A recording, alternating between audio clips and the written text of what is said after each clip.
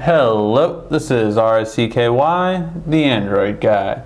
Hey guys, so today I'm bringing another accessory review and that is the Super Case, or SupCase. SupCase, I guess uh, I just always assume to a Super Case, but SupCase. Um, and this design is called the uh, Slim Fit Case uh, for the Galaxy S4 and it does have multiple color options as you can see. I picked out this one for me and this one for my girl.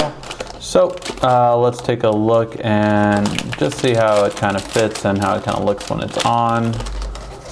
So um, really nice texture actually. Um, really nice feel to it. it uh, I'm not sure exactly what the material is. It is a type of plastic, but it just has a very uh, solid feel to it. Now let's see what the phone inside feels like.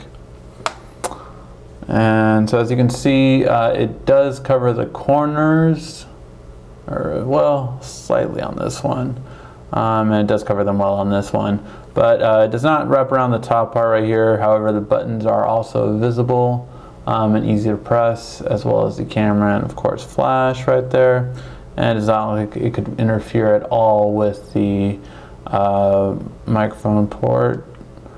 Uh, buttons are still easy to get to, which is nice.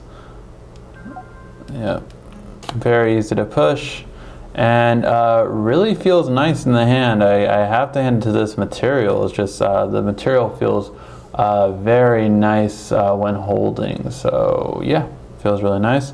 So as of course the black one. Unfortunately, I did think this was a kickstand. It is not. Um, so I, that's just a little color accent that you have on there.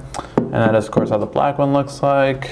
And now let me get this off a little bit more force to take it off, it looks, feels like, which is good. Makes it means it won't easily bounce out of the case.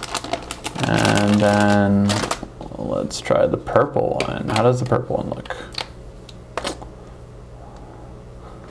And so there you have it. That is how the purple case looks. So purple accent on the side, um, which does seem to go a little bit uh, in front of the phone, which is nice. So if it drops, um, it looks like that will take uh, at least the brunt of the impact more than the screen itself.